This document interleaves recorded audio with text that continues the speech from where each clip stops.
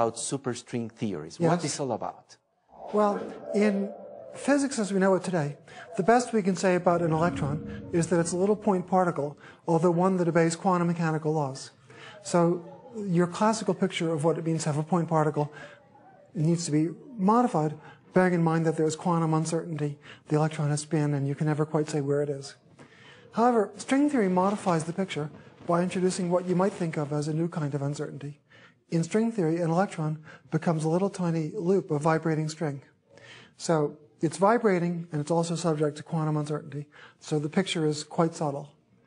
But in any case, if string theory is correct, then the relation between the different elementary particles is that the electron, the muon, the photon, the neutrino, and so on are all different states of vibration of one basic string. Just like a piano string has a fundamental overtone and also higher harmonics. Mm-hmm.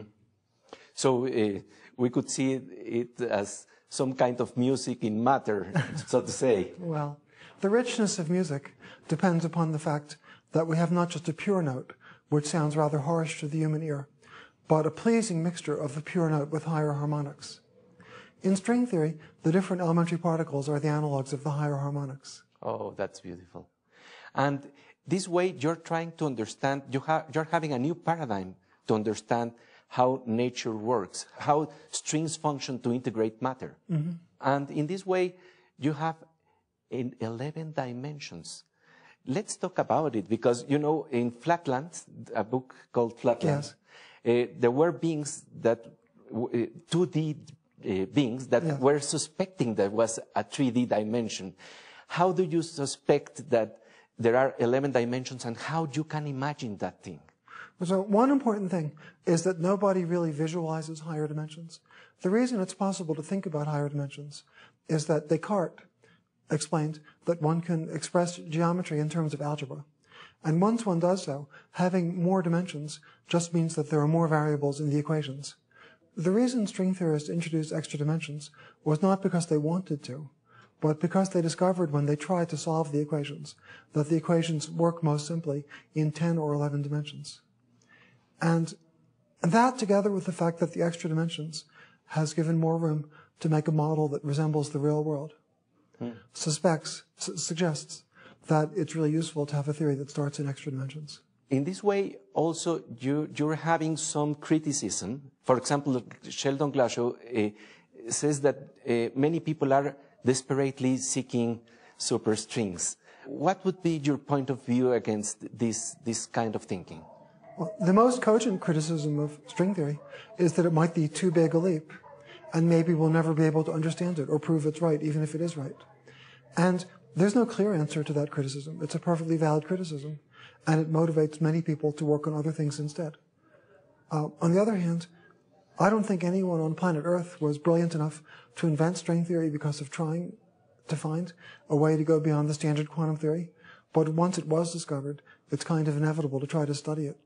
Trying to understand what superstring theory is, that is your goal. In- Certainly my goal is to contribute as much as I can to understanding what string theory is.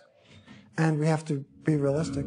It might not be a goal that can be fully achieved, or perhaps not fully achieved by me. But anyway, whatever pieces of it I'm able to contribute have been satisfying. What kind of things makes you believe that you're on the right track? Uh, one, one criteria that is very interesting is elegance and aesthetics. Well, there are a lot of circumstantial reasons to think that string theory is on the right track, but I do want to acknowledge that the reasons are all circumstantial, which is one of the most cogent points made by critics of string theory. So, first of all, although nobody anticipated this going in, it turns out that string theory forces quantum gravity upon us, while in the standard framework of physics, quantum mechanics doesn't get along well with gravity. So we know that quantum mechanics and gravity are both part of the real world, and somehow the stars where gravity is important are made out of atoms where quantum mechanics is important. So there has to be one theory that describes both. And no one really has ever had a good idea about how to do it. But by an amazing lucky happenstance, physicists working on string theory accidentally stumbled upon a framework that forces gravity upon you, while the standard framework of quantum physics makes gravity impossible. Now, to me, that's the single most important motivation for studying string theory. It's also true that string theory has led to strikingly elegant models that are only qualitatively correct, but still they're qualitatively correct for describing the elementary particles unified with gravity. And finally, it's true that string theory has had a lot of success in shedding light on other areas of math and physics. In this way, you're getting nearer to the dream of Einstein of finding a unified field. Well, we hope we're getting nearer, but let's not exaggerate. We're very much in the dark. And even if string theory is on the right track, it's mostly not well understood by people. As I have said, one of the points made by critics, which might well be correct, is that string theory could perfectly well be correct and beyond our reach to really understand. What kind of uh, data suggests that this is taking place really in the world? That we have some experiments or some data that really suggests that we are there or we are getting there? And what would be the one that would say to you, this is real proof. This is something that I can see as a confirmation of this theory? So I think a complete proof is beyond reach. Um, I can't even suggest how it might happen. Um, it's possible that an important piece of the theory would be proved if, for example, the LHC would discover new particles with the property known as supersymmetry.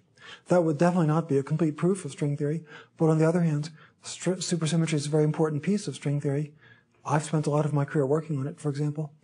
And if that were experimentally proved, that would be a lot of encouragement.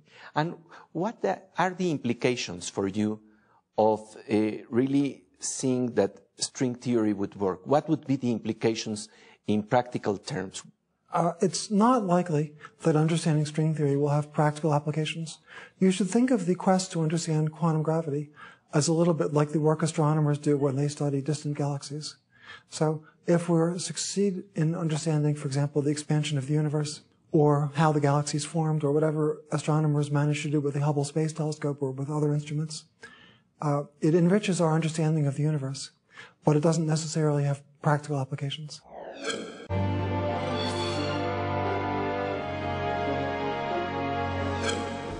And what would be the new areas you're touching right now? Nowadays, what are the areas you're working with superstring theory? Because there is the, what is called the M theory that embraces the different yes. branches of superstrings that right. you're trying to explore. Right.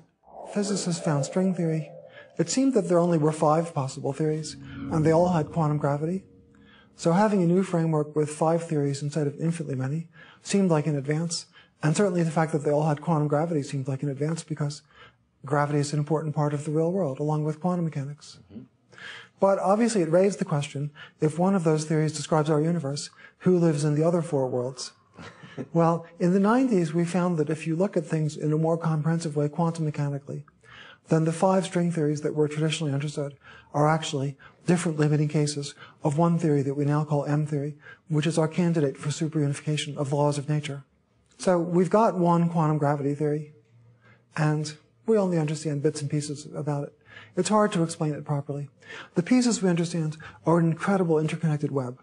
There's a vast, vast amount of knowledge in many different directions. Yet it's only tiny, tiny fragments of the whole picture. And there are many, many bits of knowledge and there are many connections known between different pieces. Um, and a coherent understanding of what's really behind it is definitely not available. But still you're trying, yes? Yes, we're trying. And, you know, Sometimes one, one's reach exceeds one's grasp. Or as the poet says, what's heaven for?